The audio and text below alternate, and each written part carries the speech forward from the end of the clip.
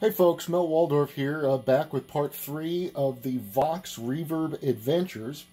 Now, you may recall uh, this is a uh, Vox AC15CH head, mod 2017, a modern one. And uh, the reverb is, the stock reverb leaves a lot to be desired, just a big wash. So first I went through in video one and compared the stock tank to three different tanks and um, selected which one was my personal favorite and that is the two spring long tank with a medium decay. And uh, then in the follow up video, I was trying to see if there are other ways to boost the amount of drippy, reverby goodness that this could possibly have. And I tried putting a boost pedal between the reverb return, the, the reverb out of the, the pan and the reverb return in the amp. And that gave a lot of boost. So then I went to a friend of mine who is a uh, electrical engineer and said, "Oh, wise one, Chris, you are wise. Uh, can you tell me how I might go about getting a the a similar kind of boost without having to uh, have a, a boost pedal sitting outside?" So he had a look at the circuit, and I'll show you here. I think that's uh, reasonably in play. So there are two component values that have to change uh, C37 and R52. Th three, uh, bleh, C37 changes from a 330 picofarad to 100 picofarad, and R52 changes from 100K to 330K. You may be wondering why, and I really couldn't tell you. But I will tell you that apparently uh, the value for C35, which is right here, if you increase that value, it will increase the amount of bass that comes through the reverb. And if you decrease this value, C37, it will increase the amount of treble. So I actually played around with a couple of different um, um, values here. I went down to even as far as 22 picofarad, and it just got a little harsh. So I think that um, 100 seems to work well. So let's have a listen to that and see what that sounds like. Alrighty. Let's see here.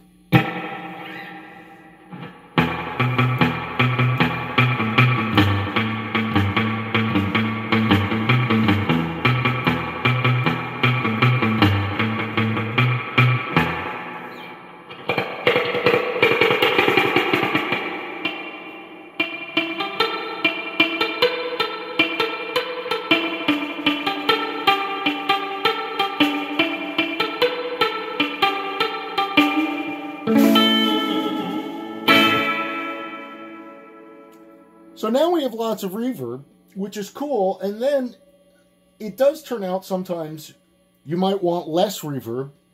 And um, I had played around with that with the Fender uh, 6G15 circuit and actually came up with a pedal, an external pedal, which lets you control as a secondary mix.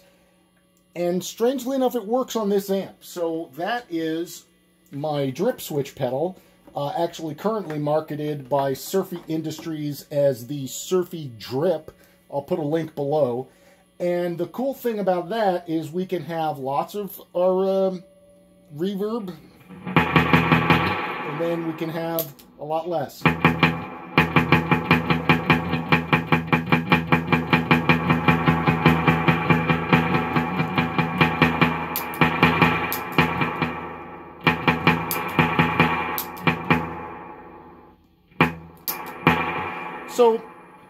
It actually winds up helping. It's not, uh, the sweep isn't the best for the Vox amp, but it obviously still works, which is pretty exciting.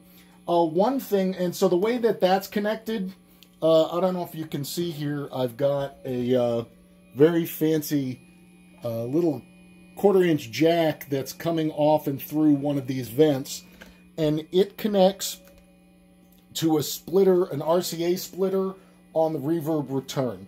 So um, that is how all that works. And basically, I think with those simple steps, we wind up with a pretty great amount of reverb. Now, one thing to keep in mind, though, is it does give it more likelihood of high frequency oscillations. I don't know if you can hear that. I imagine that the dogs in the neighborhood can. That's a beautiful sound. So you do wind up having to control the treble a little bit, but if there's one thing Voxes are good at, it's making epic amounts of treble. And so there you have it. Um, let's see, I'm going to turn that down a little bit. So usually I just have to take the reverb just a little bit off of, of the max and then it goes away. And uh, also this, by the way, works with the foot switch. So we can have, and I've got the standard foot switch down here on the floor. See that? Woo! Let's put that back. Oi! So you can have, uh, you know, uh,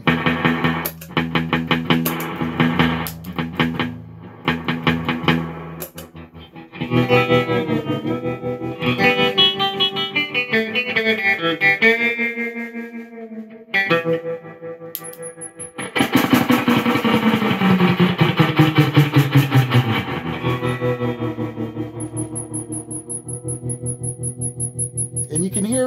some reason,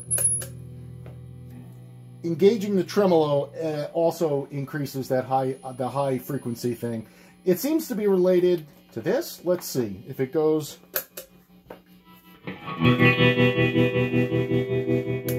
So that high frequency game has something to do with, I might have to put a filter or something uh, on there. I haven't figured it out yet. But for me anyhow, totally worth it. Dude. So, I hope you have enjoyed this lesson on how to make your Vox AC15 yet more awesome than it already is stock. So remember, there are deadly voltages in here, so don't futz around with anything inside here unless you know what you're doing. And if you know what you're doing, then do. If you don't know what you're doing, show this video to somebody and they'll know what to do and then you'll be like, oh, see, look, I know, oh, or, or something to that effect. I've been locked up in here for a very long time.